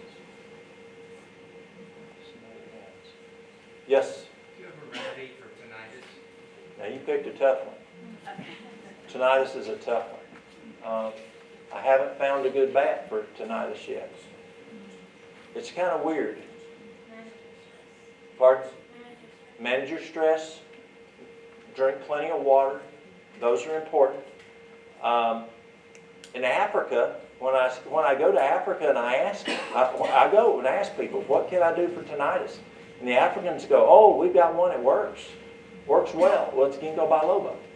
But it just doesn't work as well here as it does what they claim over there. Um, it's just not a big bat. It might work. There's a product called uh, Vertigo, and it has like four different uh, essential oils in it. And you can put a drop behind each ear. It works for vertigo very, very well. But some people claim it works well for tinnitus. The best that I've seen from in research is, by, is, is in NIH, National Institute of Health.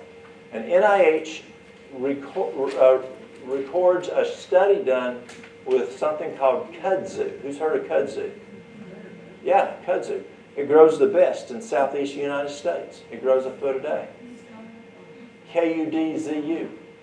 And but what they did in the study was they used IV kudzu number one, where are you gonna find IV kudzu? And number two, where are you gonna find a doctor that's gonna give IV kudzu? But that is the best results I've ever seen. Yes, ma'am? Sometimes tinnitus can come from a tumor between the ear and the brain. Is there anything that can be done for a tumor that's causing the tinnitus? Yes. Um, the, inside the skull, there's two things I found that can be beneficial for tumors. One is frankincense. You put a drop on the tip of your thumb,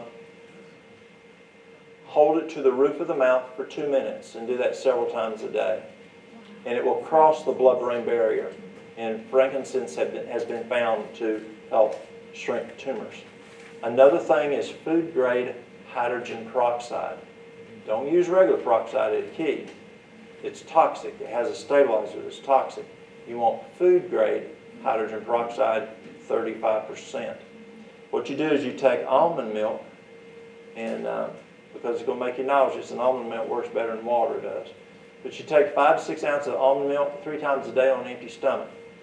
Day one, you put three drops in each glass and increase by three drops each day three, six, nine, twelve until you get to 50 drops three times a day. There are people who go as high as 150 drops. You'll get plumb sick on that. I don't recommend that. It's very effective, but I don't recommend it. You get too sick. 50 drops, even some people can't handle. And 30 drops, if you get too sick with 30, just stop. Wherever you can tolerate, some's better than none. But food grade hydrogen peroxide has been found to be beneficial for that. Yes, ma'am. Where would you get your frankincense? Because all the essential oil companies, there's so much controversy with some, and others are very inexpensive. Yes. That's a very good question. Uh, the question is, what brand do you want to get? Let me get, let me not get into the brand, but let me get into what you want to look for. You want a um,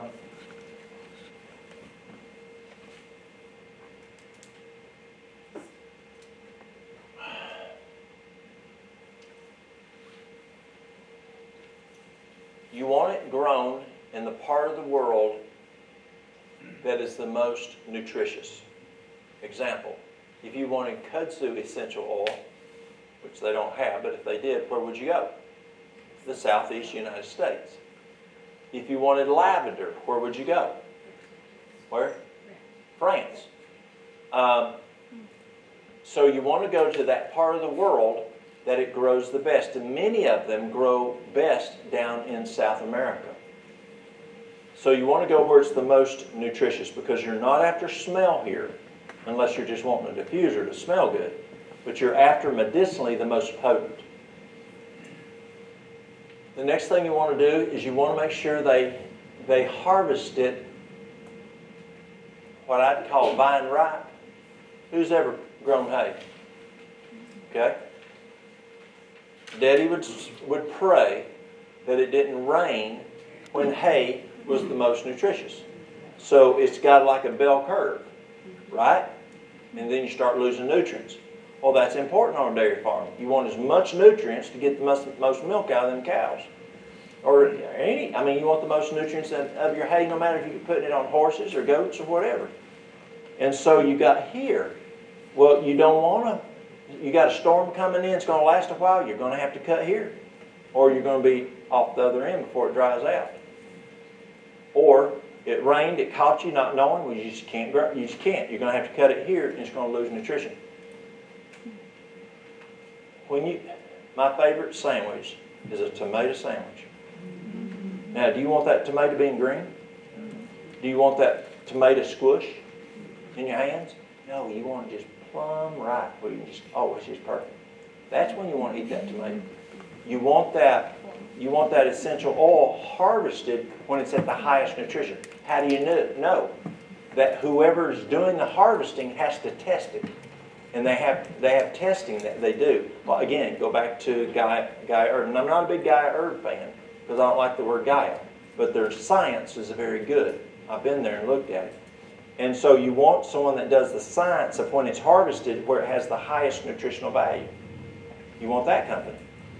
Um, also, you want one that you can trust that it's plumb pure. There's a, who knows what helichrysum is? Okay, helichrysum. I, I had a company, a one ounce bottle, 30 ml, was, was 30 something dollars for helichrysum. Is that a problem? That's a problem. That's a problem. So I asked the company. I was at, in, in Baltimore, Maryland, at a, the big show, over 6,000 vendors. That company happened to be there. I went in and asked the guy, he's the director of marketing for the whole company. Y'all would know the company if I said it. And I said, how do you get your helichrysum so economical? He said, we're just good. And I make the right answer. I said, uh, what percent of your, heli- of your helichrysum is helichrysum? He goes, oh, it's 100%.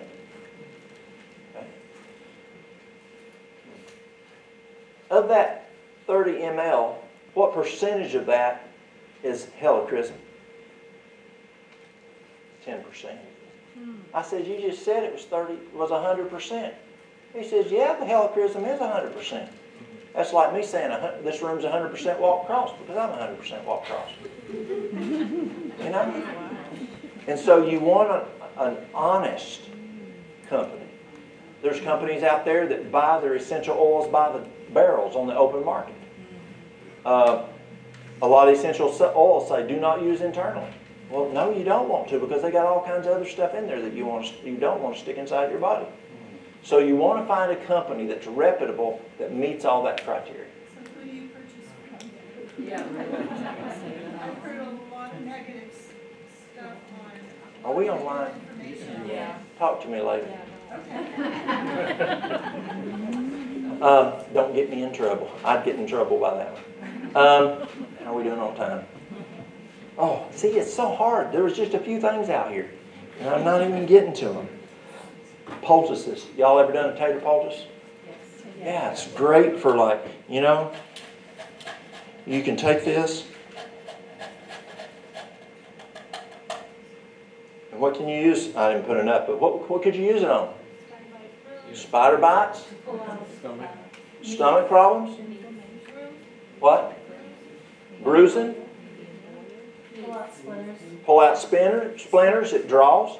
How about burns? It's great for burns. Yeah, my grandma taught me that. There's all kinds of poultices. There's carrot poultices, there's onion poultices, there's just all cabbage poultices are course you're Romanian. Of course you don't know about cabbage. but don't make the mistake I made. I had a guy fly in from from England and he had external hemorrhoids, and they couldn't fix him over there. So he flew all across the ocean to us, and um, and we were doing hydrotherapy, and we were doing poultices, cabbage poultices, and various things. Well, one night it was time for him to go to bed, and uh, it was nine o'clock, and he came and said, "Can you get my poultice for me, my cabbage poultice?" I said, "Sure." So I went up into dietary. I went in, and opened the refrigerator door, and there was no green poultice. I mean, no green cabbage. But there was a red cabbage. So I got the red cabbage and I beat it and I made the poultice for him. He put it on. The next morning he told me he stained his underwear, his pajamas, our carpet, our our our uh, our, our, our linen on the bed. He stained everything. Don't use red cabbages for poultices. It, will make a mess. But cabbage poultices are great tools for pain, for wounds, bruising. Yeah. Part.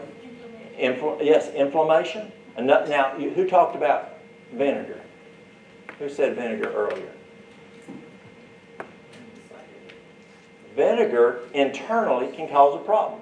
But if you got a bad bruise, I learned this from a lady who used to work in a bar before she became a Christian. And she said in bar, in bar fights, they'll get bruised up and they put vinegar on those black eyes.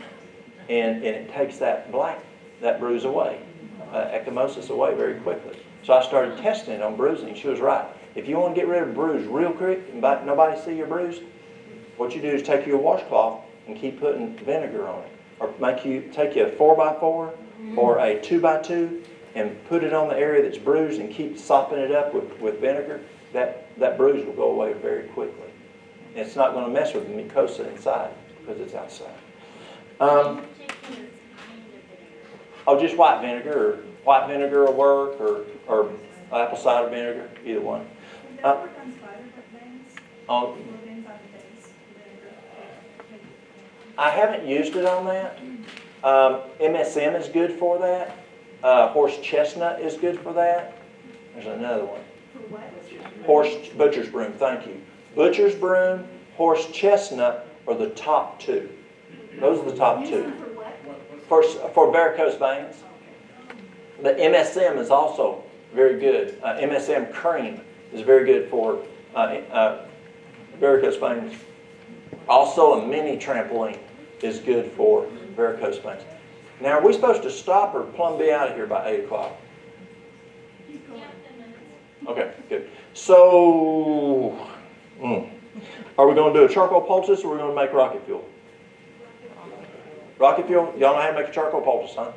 Charcoal poultice, I'll just do, I'll do 50% charcoal, 50% psyllium powder, mix it thoroughly, put about 5 to 6%, uh, 5 to 6, I'm sorry, one part charcoal, one part psyllium, mix thoroughly. Very important. You got black, you've got tan. Mix it until it's gray. Because if you don't, the psyllium will congeal, the charcoal will not. And you, you got a mess. Mix it thoroughly. And then you're going to put between five to six parts water based on your psyllium. And psyllium, just depending on the batch you have, some uses more water than others. And you'll just have to figure out what your batch is. But use 5.5 parts and then go either side. And put that, and at first you're going to think he's plumb crazy. There's too much water.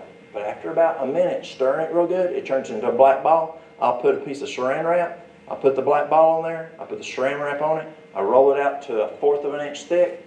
And you can make it like biscuits or, or, or, or uh, cookies where you make a mess of it. A mess means a lot.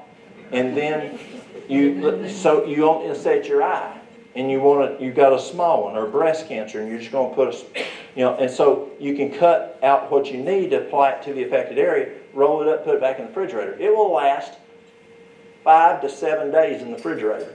You know how grandma's bread would, would mold if you didn't eat it fast enough because it doesn't have preservatives? Well, the psyllium doesn't have preservatives, so it will mold after a while. And so if you've made more than you're going to use in seven days, cut it, and put it in a Ziploc bag, you stick it in the freezer, and it'll last for years. And then you just pull it out and thaw it and use it when you need it. How about flaxseed? Flaxseed will work fine. That's, we use that for many years. And uh, flaxseed is, is more economical, it's more messy. And so I hired a therapist out of Switzerland, and he's the one that taught me to use the, the psyllium. And the psyllium is just, it's like silly putty, it's, it's more manageable, doesn't make as much mess. But flaxseed works great. It does.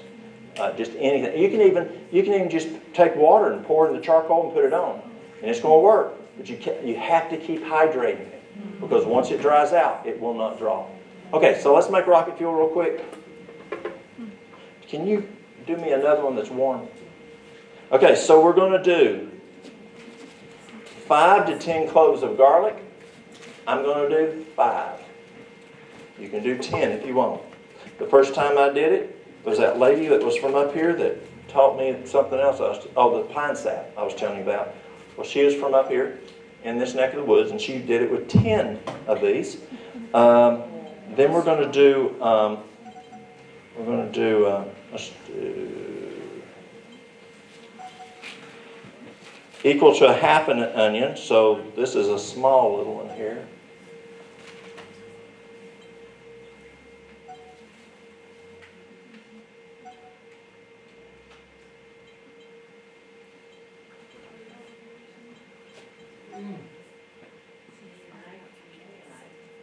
Good clean knife?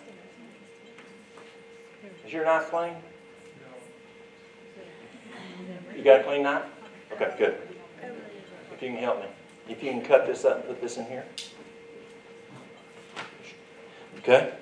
And we're going to put, uh, so we're using a, we're just putting the whole thing because it's a little one. We're going to use, normally it's a half an onion, but we're going to use this little one here, the whole thing. We're going to do a thumb of ginger, piece of ginger size your thumb. We're going to do the juice of two lemons. Oh, uh, I cut up a little bit more. This is four? Okay. So we're going to use half of this. To go to this.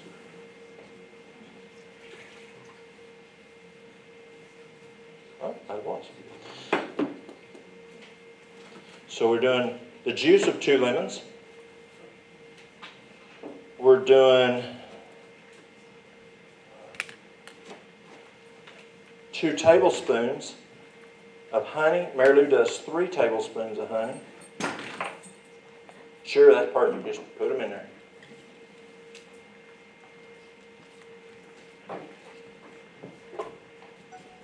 You a cook?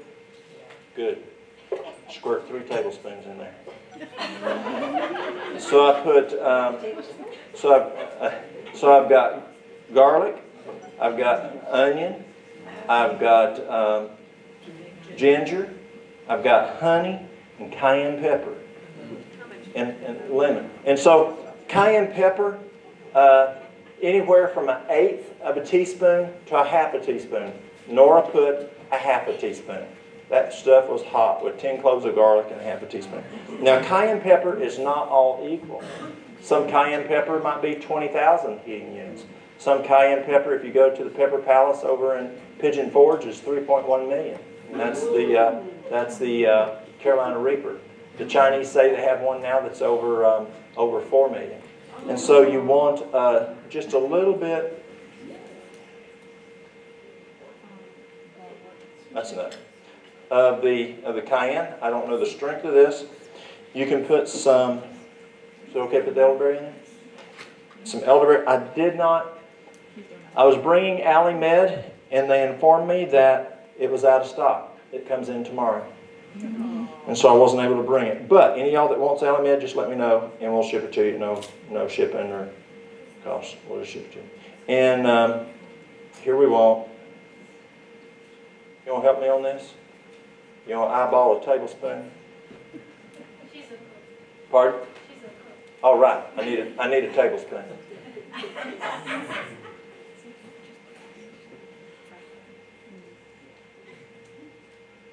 All right. Whatever you think. I'll go. Thank you. And then you want to add enough warm water to net one quart. You know where a quart is on here?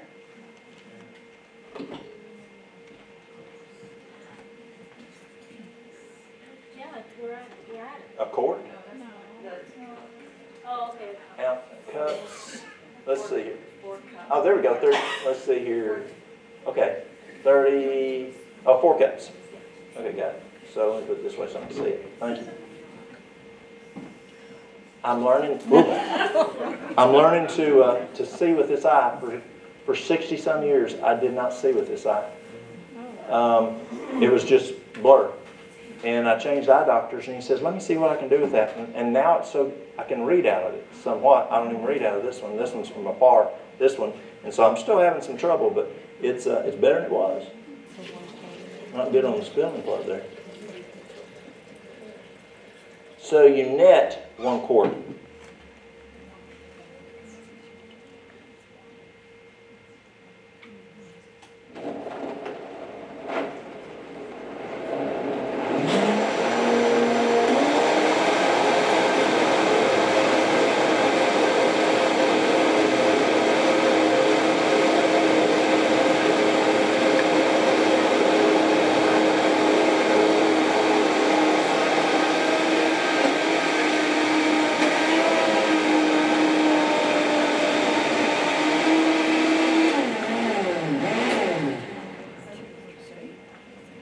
You ever put grapefruit extract in You could, Grapefruit's excellent to put in there. Yes. We'll line them up here. Let me see what it tastes like here.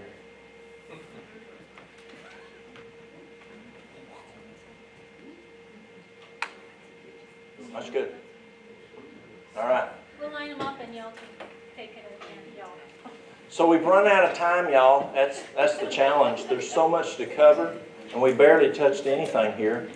Um, tomorrow night, what are we talking about tomorrow night? By cold mountain remedies by health conditions. Oh, that's going to be a lot. That's a hard one too.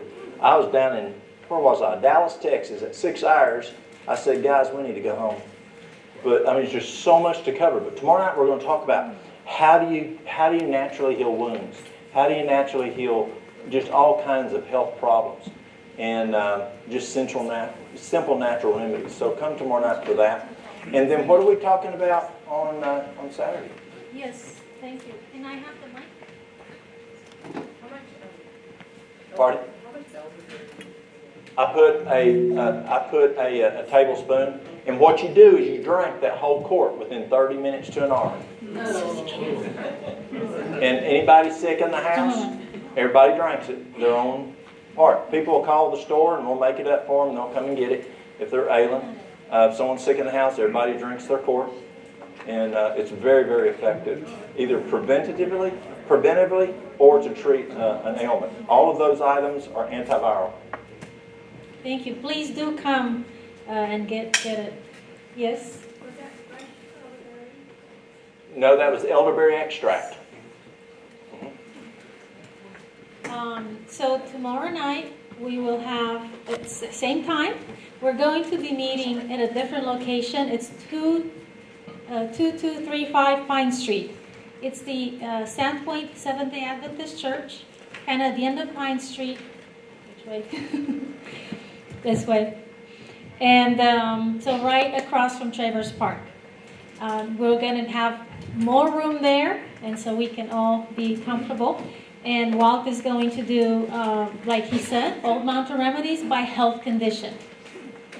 That's tomorrow night, Friday, from 6 to 8. He'll also have his products there. If you want to come ahead of time, he will not have them after the meeting, but before the meeting.